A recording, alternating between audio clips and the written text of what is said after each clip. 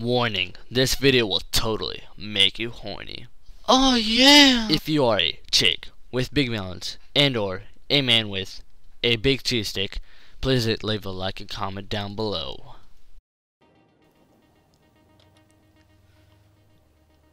Hello guys, it's on 4 here, and today, welcome back to another Battlefield 4 video.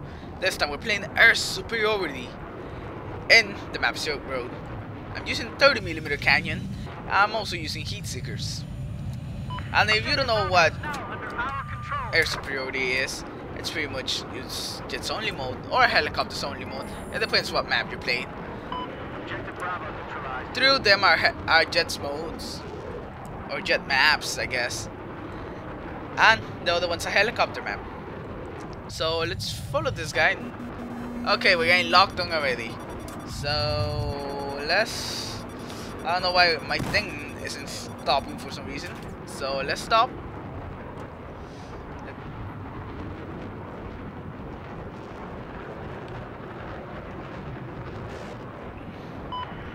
Ah, let's chase the guy. There he is. Shoot. I only managed to shoot. Oh, I did shoot two of them. I don't know if the two of them hit. You know, guys, while I'm capturing B, let me just tell you something. That I think I liked air superiority more than Battlefield 3 than I do in Battlefield 4. I don't know because it was the maps, or because I had a better feel of the jets. I'm playing air superiority for the same reason. I kind of played. Oh wait, hold up. Air superiority in Battlefield 3. Oh no, I don't know why you did that before. Which is kind of to get better with the jets because I kind of suck with jets right now. A lot. Not just a little bit, a lot. Like, noob. Level 1, a lot. You don't want me to be in your jets. And that's why most of the time I use don't take them. I just stick to helicopters or stuff like that. But I don't really take jets because I most likely just fly around a bit and then oh no no no no. You know I don't I don't li like when they put this in Battlefield 4 when you get hit you just like go everywhere. You just like you don't really use like freaking run into the ground or something. You just like go everywhere. You have no con control of your jet at all. You can just go ahead the ground because I don't know why. Dice. Amazing. Amazing. So yeah that's pretty much what I had to say about air superiority uh, the, I don't think it's quite as good as it was End Game. Really thought the End Game air superiority was a bit better.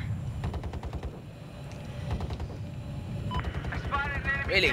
None of those are hits. Okay then. In front of the jet. Uh, no, no hits at all. I do like the sounds of the jets. They could have that. The sound's really nice. Sounds amazing. And what the hell? Wait. Oh, okay. I was gonna say, got hit. Why did I? hit? Come on. Oh, whoa. Oh, some something else that I don't like about freaking air superiority is that the, the friendly jet collision. Because apparently that's a big problem. I okay, I disabled that guy. Ah, he's dead. Have seen that. There's like two enemy jets behind me. Why don't you go chase somebody else? Uh, the friendly jet collision, as I was saying, because you tend to hit your friendly jets quite a lot. For some reason. I have no idea why. It just kind of happens. Sometimes you just randomly you just get killed in action, and that's when you hit that friendly jet. Uh, and you'll see what... Oh, I didn't actually get hit. Maybe I hit the blimp or something. Oh. You also can't get too close to the blimps, because even if you're too close, you randomly blow up. Oh, uh, there you go. Like right now, I'm not controlling the jet at all. It's just kind of spinning in circles.